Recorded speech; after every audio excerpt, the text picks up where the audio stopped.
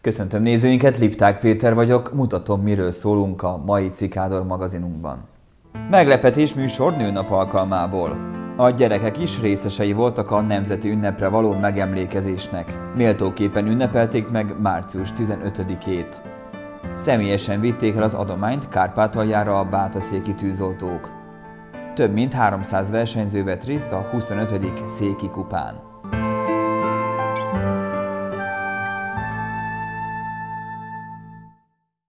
Közel 120 női dolgozóját lepte meg és köszöntötte fel nőnap alkalmából Bátaszék város vezetősége.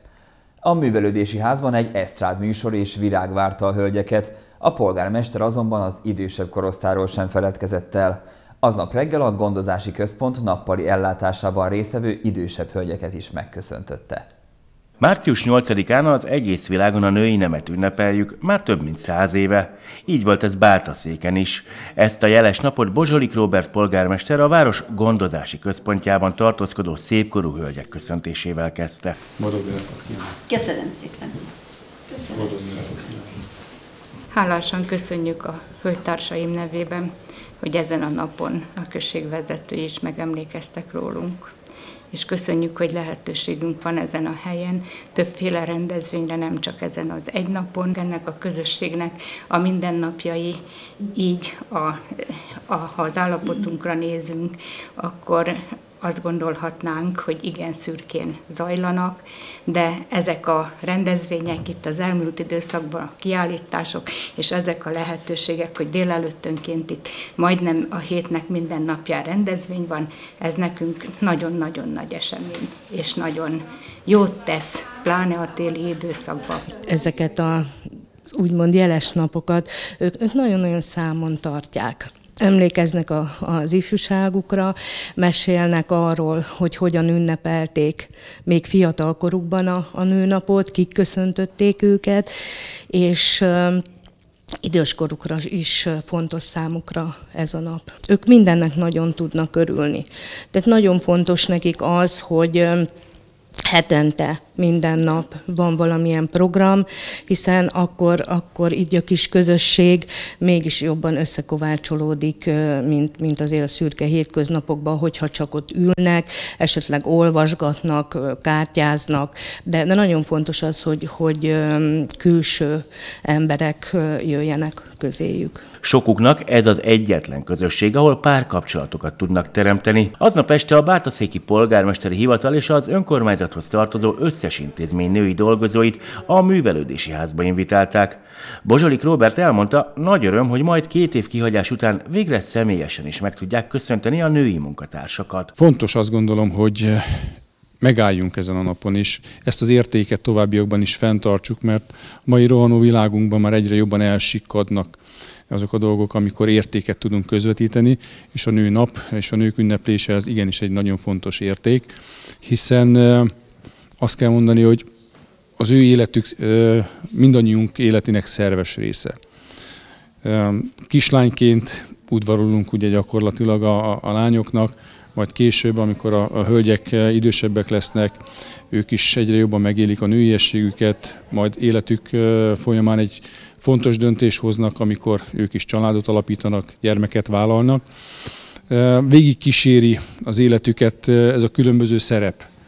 A lányként, nőként, anyaként, majd később nagymamaként, sőt egyre gyakrabban már dédmamaként is.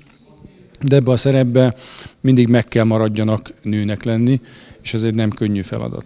És hát van még egy súlyosbító körülmény, ugye mi férfiak is itt vagyunk ebben a, a kapcsolatban, és velünk is meg kell találni a hangot. Az ünnepi műsoron Kossuth Gergő előadó lépett fel, és próbálta elfeledtetni a hölgyek mindennapi gondjait. Mindig törekszünk arra, törekszem arra, hogy olyan repertoárra jöjjek, bár bármelyik nőnapi koncertről van szó, ahol mindenki megtalálja a számára kedvest, és szerintem széles körben szerintem az összes korosztály képviselteteti magát, mert tényleg úgy szokott lenni, hogy 0 99 évig szoktak a koncertjeimel lenni, úgyhogy én bízom benne, hogy most is így lesz. És így is lett. A koncert előre haladtával a gondoktól és a napi fáradtságtól elnehezült arcok derűre fakadtak. A nő egy angyaltán, őrzi a férfi álmát, életet ad, óv és félt, egész egész életen át. A nő egy száz csodát, a könnyes száz karát. Soha nem kér, de mindig ad, egész életen át. Voltak itt még táncba is vitt az énekes.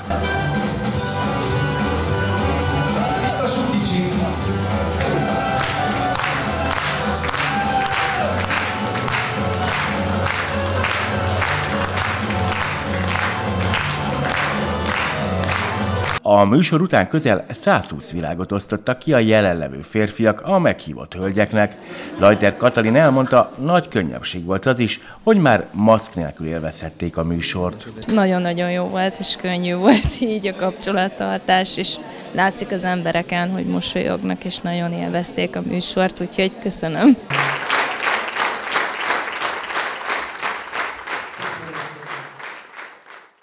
Az iskolások műsorával vette kezdetét a Nemzeti Ünnep Bátaszéken. Az általános iskolások minden esztendőben szerepet vállalnak az ünnep lebonyolításában. A pedagógusok véleménye szerint egy-egy ilyen program során többet tanulnak az adott történelmi eseményről, mint a száraz tananyag elsajátításakor.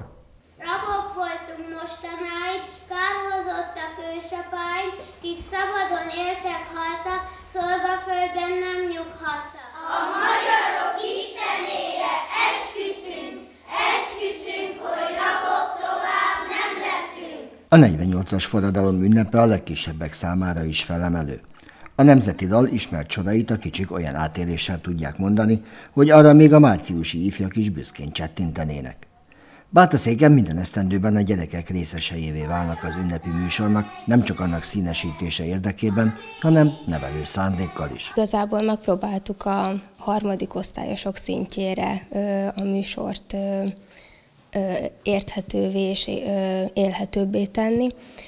Énekeket tanítottunk nekik, táncoltunk velük, valamint a magyar órák során olyan szövegeket és ismeretanyagokat dolgoztunk fel, ami segített nekik abban, hogy közelebb kerüljenek ehhez az ünnephez.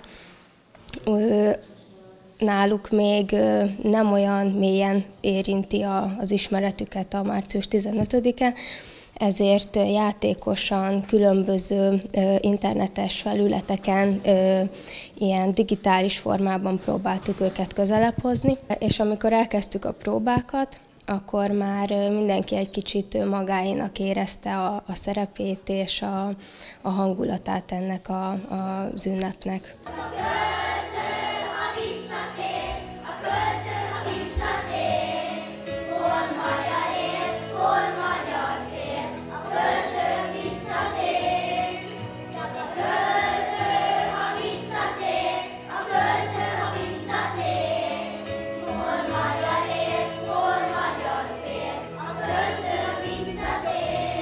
Egy-egy ilyen fellépés arra is jó, hogy a gyerekek átéljék az adott ünnep fontosságát a maguk szintjén. Ami pedagógiai szempontból azért fontos, mert az így megszerzett tudás mélyebben beépül. A, a nemzeti dalt a Petőfi Sándorunk tanulta meg, de minden fiú most már tudja, és, és skandálják az indulókat. Az iskolában a szünetekben is játszottak katonásat, szerepjátékokat, úgyhogy azt vesszük észre, hogy, hogy átélik ők most ezt a, ezt a katonaságot és ezt a forradalmárosdit. Már éveleje óta tudjuk, hogy a március 15-i műsor az a mi osztályunké lesz. Folyamatosan próbáltuk őket terelni arra, hogy, hogy ez majd el fog jönni, és nekik színpadra kell állni. Körülbelül egy hónapja próbáljuk a műsorunkat, és most már az utolsó hét az nagyon gördülékenyen ment, itt a művelődési házba otthonosan érezték magukat. Nyilván van bennük egy kis izgalom, de úgy látom, hogy alig várják, hogy megmutathassák, hogy mit tanultak ez az egy hónap alatt. Aki magyar, aki vitéz, az ellenséggel szembenéz. Előre! Mit kell vitézni, egy magyar ős, az Isten egyet akar? Előre! Véres a föld a lábam alatt, lelőtték a pajtásomat. Előre! Én se leszek rosszabb nála, berohanok a halálba. És persze volt egy kis rivalizálás, meg féltékenység arra, aki a nagyobb szöveget meg szerepet kapta. De ez egy színi előadás szereplői között, még ha csak alig 11-12 évesek is, egészen természetes. Mindenesetre látva, ami a színpadon történt, valószínűsíthető, hogy ezek a gyerekek igazán szívből viselték mellükön a kokárdát.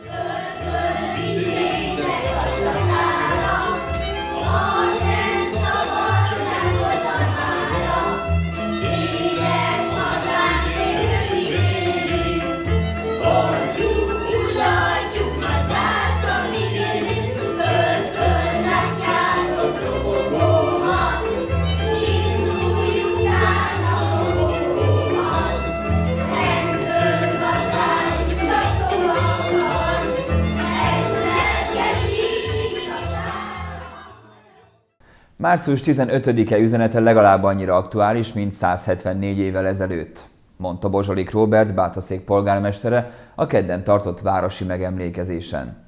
Az általános iskolások műsora után a romkedben rótták le tiszteletüket a megjelentek.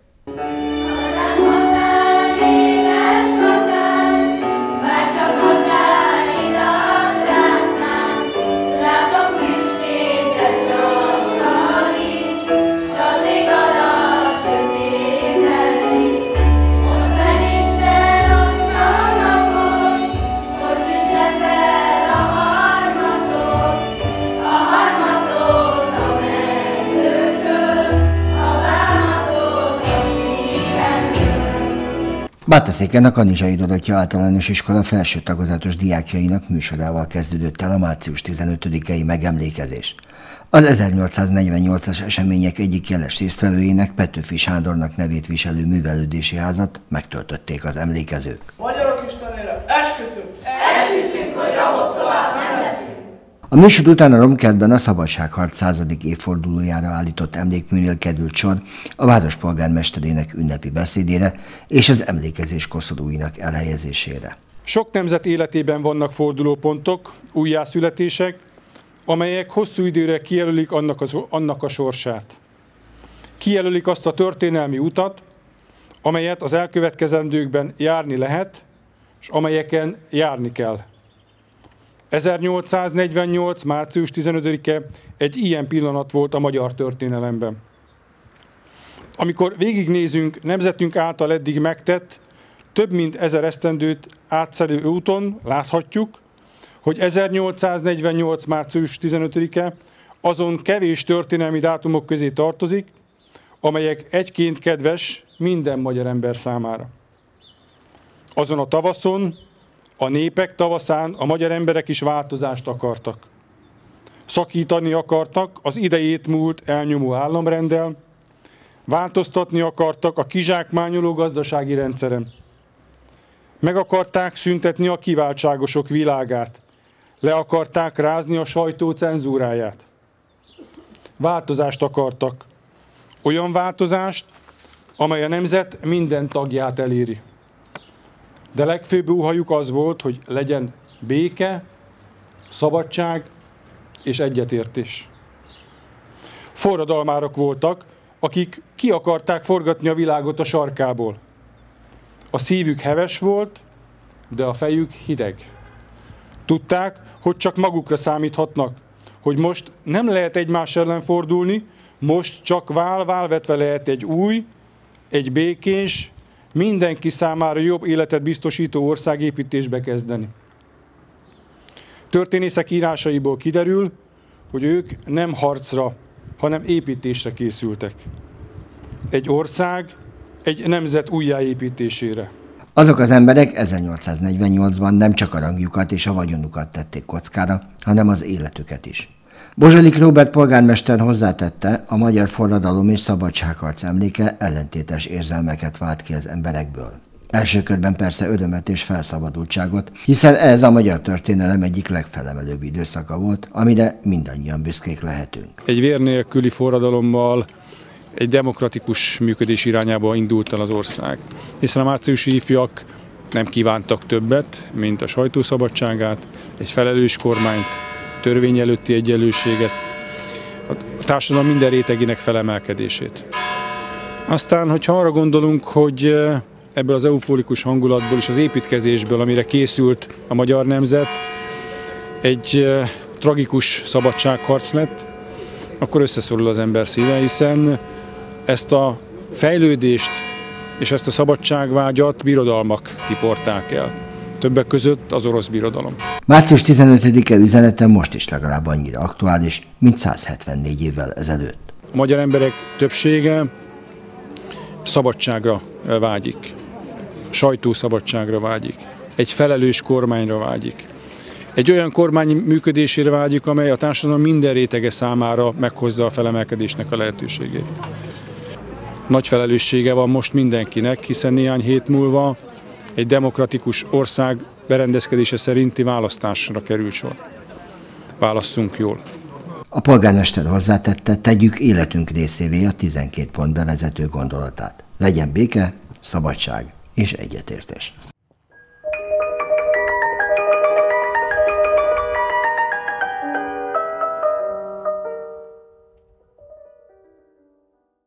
Közel 300 ezer forint értékben vásároltak tartós élelmiszert, higiéniai eszközöket, tisztálkodási szereket a Bátaszéki Önkormányzati Tűzoltóság és az Önkéntes Tűzoltóság lánglovagjai, hogy megsegítsék a kárpátaljaiakat. Az állomány minden tagja egy emberként fogott össze, és járult hozzá az adományhoz, amit Tiszabecsre, egy határmenti települése szállítottak, segítve ezzel a menekülteket és az ott élők áldozatos munkáját.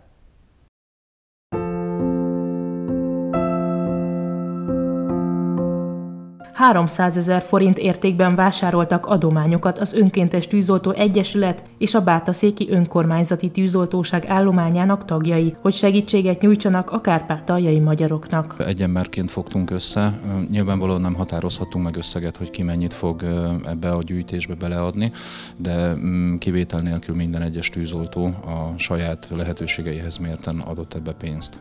Az orosz-ukrán konfliktusból kifolyólag eléggé megérintett érintette az állományt az, hogy mennyi kárpátaljai magyar kényszerült elhagyni Ukrajnát, és látva az egy darab szatyorral elinduló kisgyermekes családokat, úgy döntöttünk, hogy adománygyűjtést rendezünk itt a tűzoltóság berkein belül, és személyállomány mintegy 300 ezer forint értékben Tiszabecsre fog a holnapi nap folyamán vinni tartós élelmiszert, pelenkát, tisztálkodószereket, azért, hogy a kárpátaljai magyarokat megsegítsük.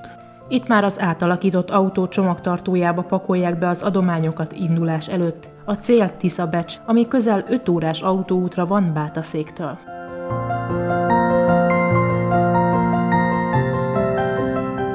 Az állomány négy tagja vitte el a legszükségesebb dolgokat a kárpátaljai településre.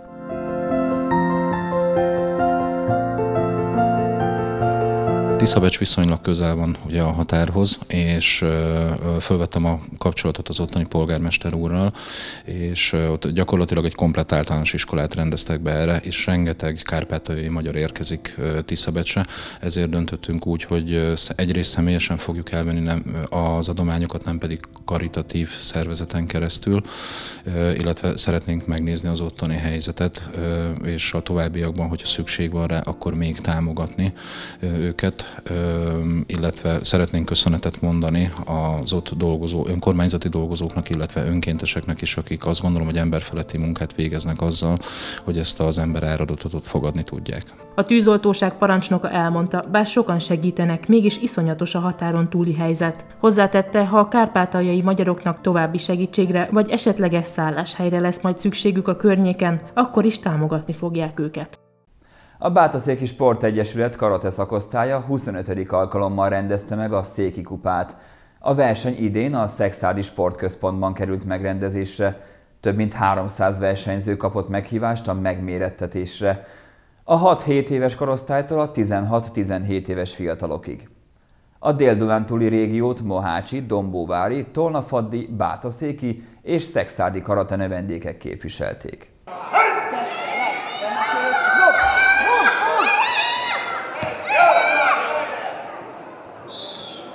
Több mint 300 versenyző vett részt a Szexádi Sportközpontban megrendezett 25. Széki kupán. A kupa az évek folyamán fogalommá vált a hazai karatésok körében, az ország minden pontjáról érkeztek sportolók a megmérettetésre.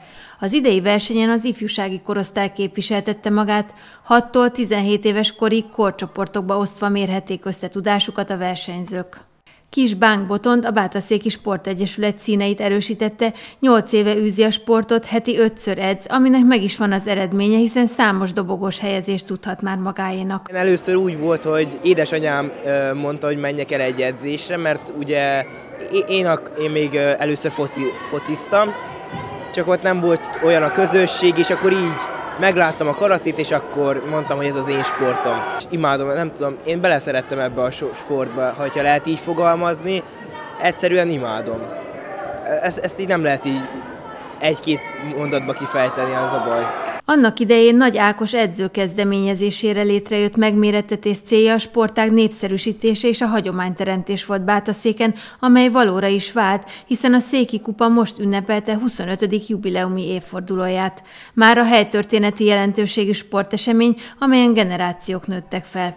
Ez 1996-ban történt Bátaszéken, aztán szép lassan eltelt 27 év, ugye a, a két év Covid időszak sajnos kimaradt, így lehet az, hogy most 27 év után a 25. széki kupát rendezzük, és a mai napon 300 versenyző gyűlt össze 24 klubból, és egyéni kata, azaz formagyakorlat és egyéni kümit, ez az küzdelem versenyszámban mérik össze tudásukat.